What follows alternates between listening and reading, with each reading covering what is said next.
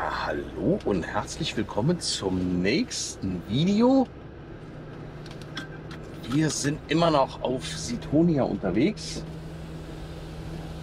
Der polnische Hund ist ziemlich nass hier von unserem Nachbarn. Ja, ihr seht, hier ist gut voll der Platz. Es sind noch einige gekommen heute Morgen. Wundert mich, ne? Es ist Viertel nach zehn. Heute in dem Video gibt es mal wieder ein bisschen Kunst und Kultur und umgefallene Steine. Einiges rausgesucht, hier noch auf Sitonia, bevor es dann morgen nach oder auf Cassandra geht. Aber die ist nicht so groß wie hier der mittlere Finger. Ja, kurzer Rückblick. Im letzten Video waren wir hier schon komplett in Griechenland unterwegs. Wir haben ziemlich im Norden noch vor Athos die erste Nacht verbracht und sind dann an Athos vorbei, hier auf Sitonia. Und ja, ziemlich gebirgig. Waren wir allerdings von einigen Fingern der Peloponnes auch schon gewohnt. Und ja, da bleiben wir heute noch einen Tag.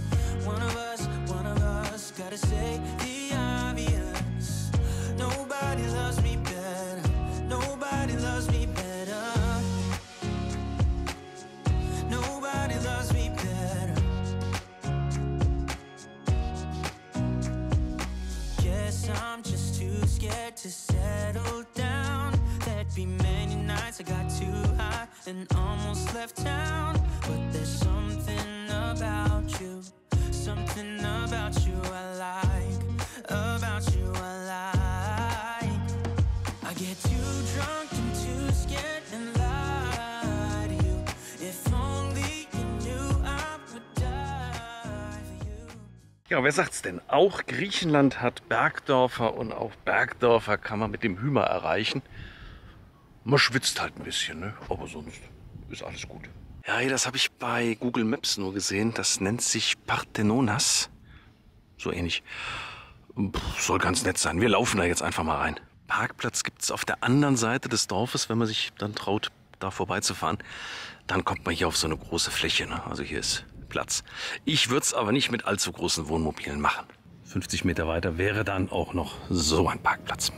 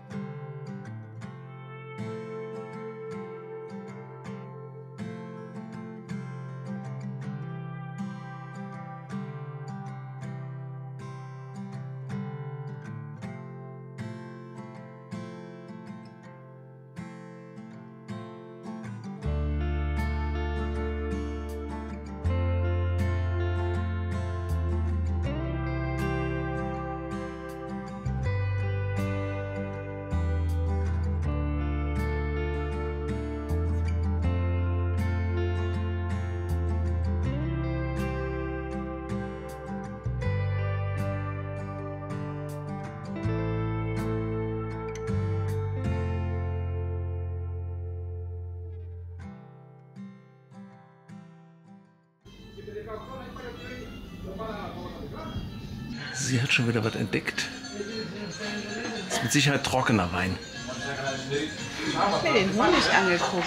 Oh je, Honig haben wir, glaube ich, auch noch äh, mehr als genug. Rumänischen Honig, zwei, ein Kilo Gläser. Und diverse andere.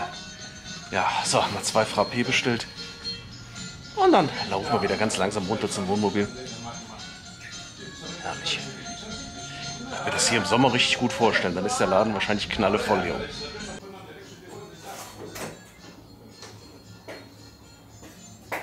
Sie ist natürlich im Giftshop gelandet. Mm. So lässt sich das doch aushalten, ne? Die arme Maus hat mindestens 10, 15 Mückenstiche heute Nacht erlitten und fühlt sich heute gar nicht gut. Ist sie nicht niedlich? Ja, du bist ja mal eine Feine, hm? Guck dir mal die Feldzeichnung an, das ist ja wohl der Hammer, oder?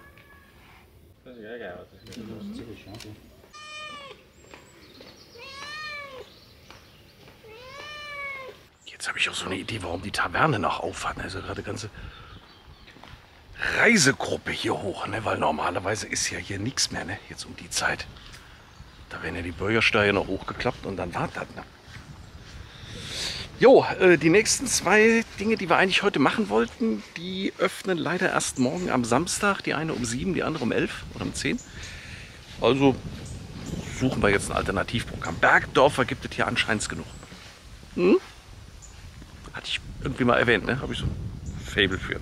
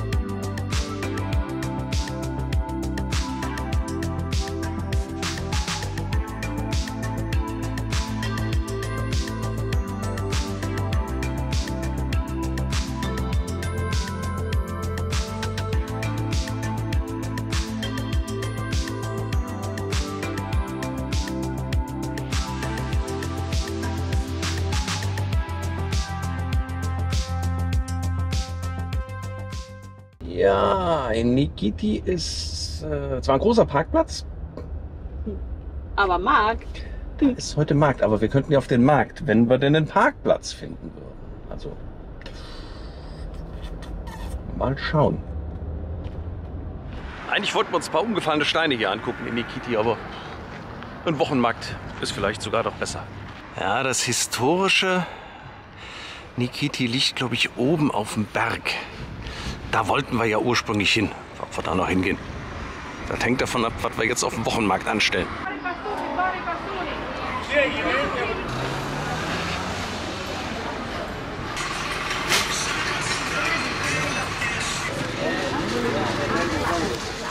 Und das ist okay. Kilo 9 Euro für den Honig. Da kannst du nicht meckern. Ja, wird schon so langsam abgebaut. Wir sind wieder zu spät. Halb eins. So, wir haben Trauben, wir haben eingeschweißte Oliven. Weil wir haben noch türkische Oliven, die müssen als erstes weg. Ich liebe diesen Käse. Süßen Wein haben wir jetzt auch noch. Jetzt hat sie wieder was entdeckt hier. Ja, so Wochenmärkte sind nichts für uns. Ne? Das taucht nichts. Ah, guckt euch mal die Oliven an. Da kann ich mich reinsetzen. Ne? Jetzt haben wir schon ein Säckchen dabei, ne? aber trotzdem kannst du das mit den Tüten dann doch nicht verhindern hier. Ne? Weil jetzt habe ich noch Honig gekauft. Pinienhonig. Noch nie probiert. Ich sag ja, wir auf dem griechischen Wochenmarkt, das taucht in der Regel nie irgendwas. Und so bepackt können wir jetzt natürlich nicht oben in die Altstadt laufen. Ne? Also suchen wir uns jetzt einen schönen Strand trinken Wein. Ja, den würde ich aber erstmal noch kalt stellen, den wir da jetzt gekauft haben.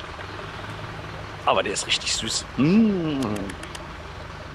Ja, bei den Dieselpreisen müsst ihr hier unten in dem Tourismusbereich aufpassen. ne? Die sind sowas von unterschiedlich. 1,49 ist das günstigste. Das ist natürlich verglichen mit der Türkei und Bulgarien schon wieder für 20 Cent drüber.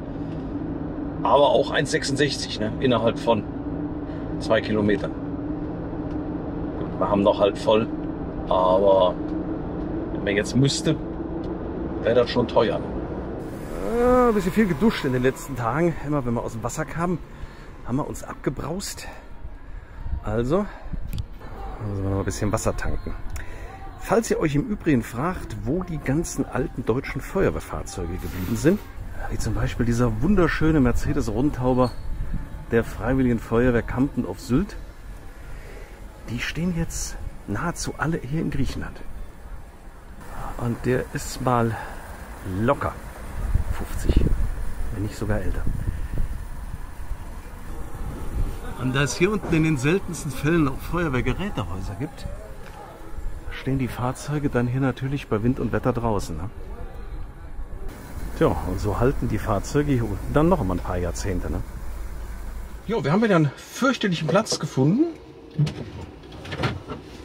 Dann haben, Ganz schrecklich hier. dann haben wir auch morgen nicht so weit zu den, ja, zu der, zu dem Kloster, zu dieser Kirche. Und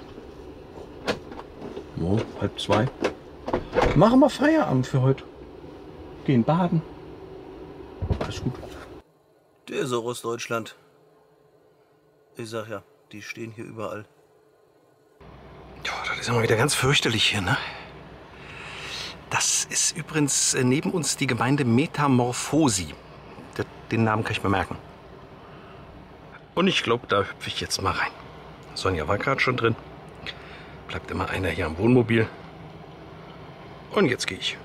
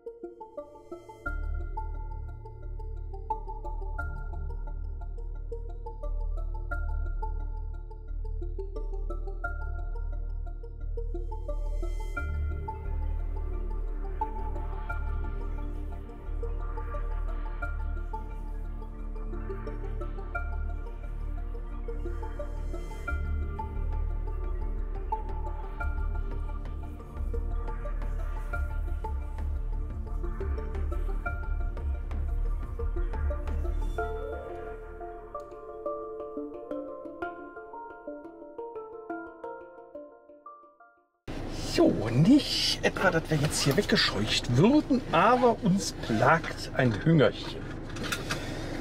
Und die Maus hat da irgendwas im Nachbarort entdeckt. Aber 30 Minuten jetzt zu Fuß zu laufen, da hätten wir. Also ich zumindest habe da keinen Bock drauf. Also behalten wir den Platz hier im Kopf für nachher. Und fahren jetzt mal was essen. Jetzt fahren wir was essen. Ja, hier waren wir heute Nachmittag schon mal. Da haben wir Wasser getankt. Hier in dem Ort. Und da soll es eine. Taverne geben und nicht nur eine. Ja, das habe ich mir gedacht.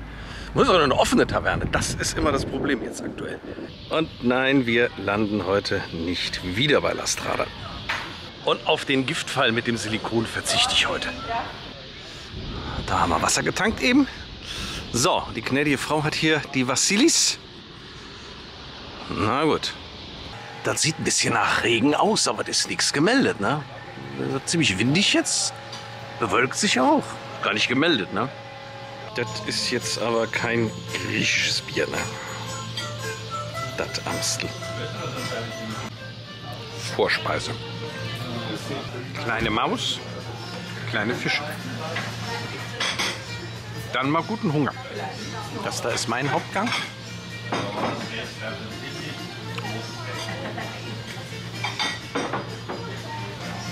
Das sieht sehr gesund aus. Hier mit ihren kleinen Fischen da hinten. Und noch eine kleine Aufmerksamkeit des Hauses. Mmh. Das sieht gut aus. Sie ist noch die Katzen am Kraulen, aber das war sehr lecker. Bist du satt, Häschen? Sowas von. Das ist die Hauptsache. Ja, wir wollen jetzt mal was ausprobieren. Bis zu dem Kloster, wo wir morgen früh hin wollen, sind es knapp drei Kilometer. Da stehen wir oben mitten in den Olivenhainen. Und da wollen wir mal gucken, ob es da irgendwie einen Platz für unser Wohnmobil gibt. Dann sind wir nämlich morgen früh direkt dran, wenn die Nönscher uns dann reinlassen. Ansonsten fahren wir wieder runter an den Strand. Ist jetzt kein großer Umweg. Ja, guten Morgen hier vom Kloster des heiligen Johannes des Täufers. Das war eine super Idee gestern Abend von mir, hier noch hochzufahren. War allerdings stockdunkel, deswegen habe ich da auch nichts mehr gefilmt. Aber das war mit Abstand der ruhigste Platz, den wir bisher in diesem Urlaub hatten. Hier war nichts zu hören, ne? gar nichts. Wir haben uns hier in eine hintere Ecke vom Parkplatz verkrochen. Und jetzt haben wir ein bisschen Pech gehabt, ne? weil gerade ist ein Bus angekommen und ich nehme mal an, dass der seine Besatzung vorne vor dem Kloster ausgespuckt hat. Naja, egal. Ja, jetzt laufen wir mal runter zum Kloster. Die äh, Nonnen sind heute Morgen hier schon um 4 Uhr von einem Glöckchen geweckt worden. Da war wahrscheinlich die Frühmesse oder wie immer das heißt. Und jetzt sind sie hier im Olivenhain. Da werden Oliven geerntet. Da haben sie allerdings männliche Unterstützung bei. Ne? Das müssen sie nicht allein machen.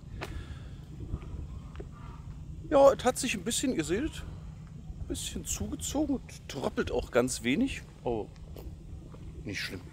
Das ist ganz interessant. Ist leider ziemlich weit weg, wie die das da hinten machen mit so einem, weiß ich nicht, so einer Motorsense, würde ich jetzt mal fast sagen. Ne? Aber das tut den Blättern überhaupt nichts und da fallen dann nur die Oliven runter auf so, ein, auf so eine Plane und dann wird das zusammengerollt.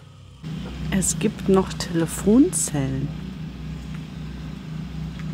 Und die scheint auch noch ganz zu sein. Tja, schade, das können wir euch von innen gar nicht zeigen. Da ist so ziemlich alles verboten. Handy, Fotografieren, Video. Hm. Schade.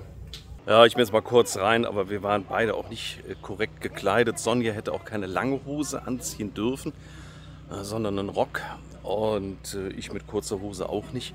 Ich habe mal kurz in die Kirche reingeguckt. Ähm, wer sich an die Rumänienreise im Juni erinnert, an die orthodoxen Klöster mit diesen mehreren Räumen hintereinander, bevor es dann hinten zum Schluss in diesen riesigen Raum geht, das ist exakt das Gleiche.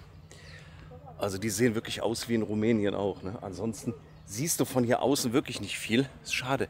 Das Ganze wird noch von einer Mauer und einem Zaun umgeben. Da hinten kann man die Kirche sehen. Aber wie gesagt, das hat mich sehr an die äh, Klöster oben in... War das noch Maramuresch? Ja, ich glaube, es war Maramuresch. Da war ich in der einen äh, Klosterkirche auch drin, wo Stefan der Große äh, beerdigt ist. Und das ist innen drin das Gleiche. So, traditionell gibt es hier bei uns immer auch noch ein paar umgefallene Steine zu sehen. Und das machen wir jetzt. Jetzt geht es zur Ausgrabungsstätte nach Olynthos. Die haben auch geöffnet. Da kommt mal rein.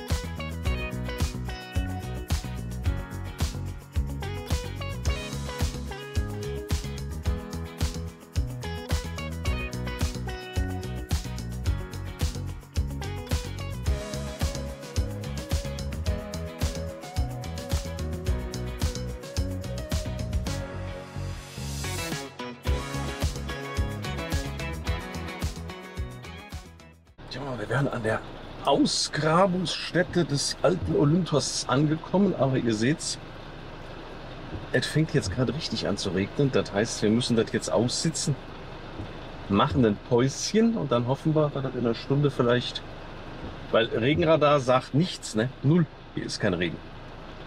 Ob Kai in der Nähe ist, man weiß es nicht, ne? Das lässt sich doch nichts mit einem kleinen Mittagsschläfchen, äh, das lässt sich doch einfach überbrücken, ne? Und jetzt kommen hier doch ganz schön Autos. So, jetzt machen wir uns mal rein in die Ausgrabungsstätte. Ja, von hier unten sind es eine knappe Viertelstunde bis oben zur alten Stadt. Ja, hier kann man auch eine App runterladen, äh, so eine Art Virtual Reality, wo man dann wirklich die Häuser auch sieht, äh, wenn man da nachher durchläuft. 4 Euro Eintritt pro Person. Und jetzt gehen wir mal da hoch. Endlich mal wieder umgefallene Steine. Hat man ja lange nicht mehr. Ja, hier unten gibt es jetzt links erst ein Museum. Das soll man als erstes machen, um so ein bisschen über die Zeit und die Historie und die Kultur sich zu informieren. Da ist noch mehr umgefallen. Und ich muss als erstes mal hier aus dem Pulli raus. Ne? Ich gehe kaputt. Ich habe ja gedacht, ziehst du dir beim Regen noch ein bisschen was an, aber jetzt hat er doch aufgehört. Warm ist es.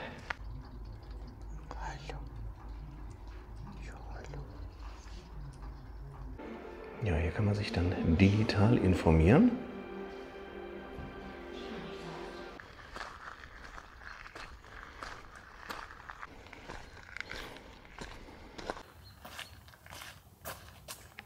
Boah, ich würde mal sagen, die Luftfeuchtigkeit, die ist weit über 90 Prozent. Es ist nicht weit, ne? Aber wir sind am Ölen. Puh. Hier muss man auch mit Querverkehr rechnen. Gut, ich hätte eigentlich Vorfahrt gehabt, ne? Aber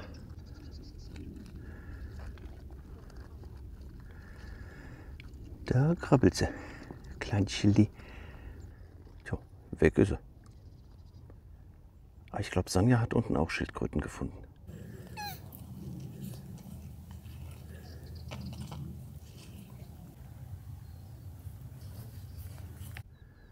Hier hat es ganz viele. Da ist noch eine.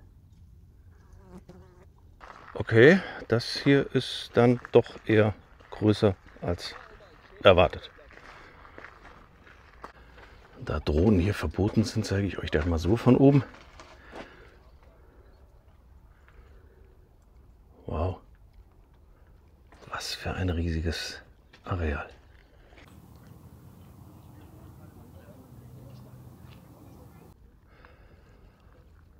Irre, irre groß.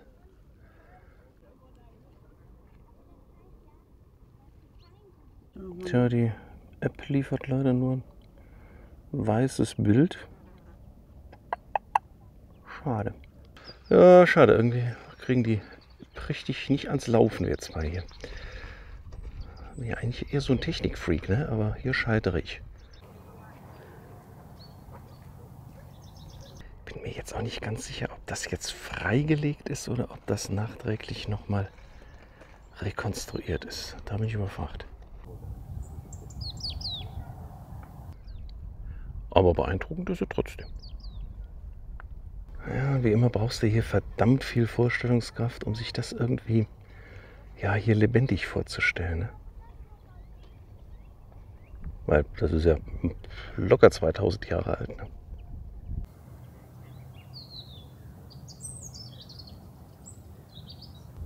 Also ich würde mal sagen, dass da drüben sind Fundamentsteine. Vielleicht für irgendwelche Säulen. Sieht wie ein hochherrschaftlicher Eingang aus.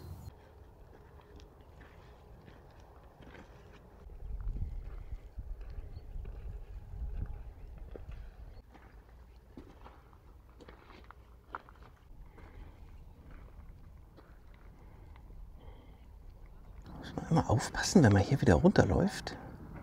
Mal schön links und rechts gucken. Da könnte was sitzen.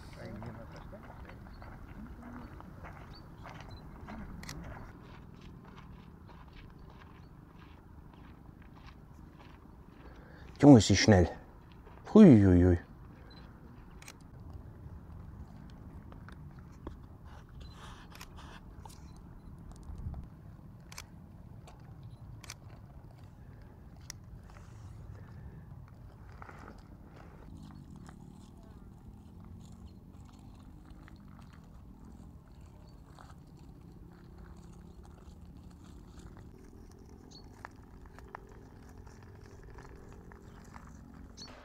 Ja, und jetzt fängt er doch wieder an zu tröpfeln, ne? jetzt wo wir zum Auto zurücklaufen. Das war Olympus. Ganz interessant, wenn man hier in der Nähe ist. Ist auch gut besucht heute am Samstag. Und wir fahren jetzt mal weiter Richtung des ersten Fingers Cassandra. Da haben wir auch noch einen Tempel, wo wir heute noch hinwollen. Und dann suchen wir uns wie immer ein lustiges Plätzchen am Strand.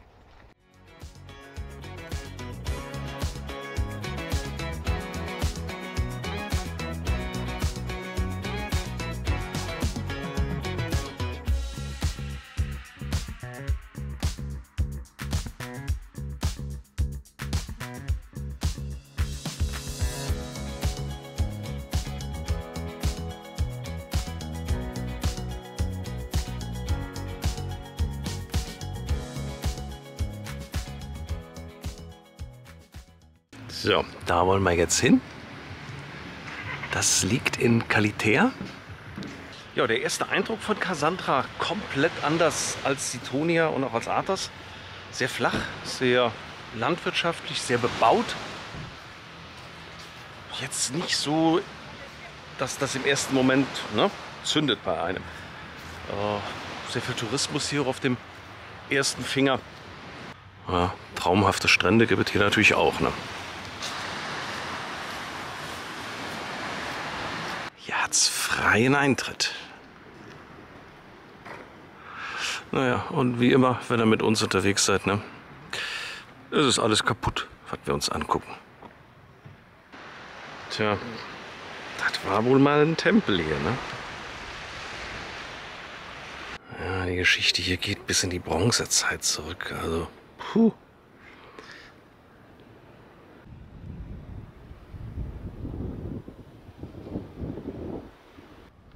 Haben wir die ersten Gebäude, die dann dem Zeus hier gewidmet waren. Das geht dann zurück auf ungefähr 400 vor Christus. ne? Ein Amphitheater. Aber nicht wirklich ähm, alt, würde ich sagen.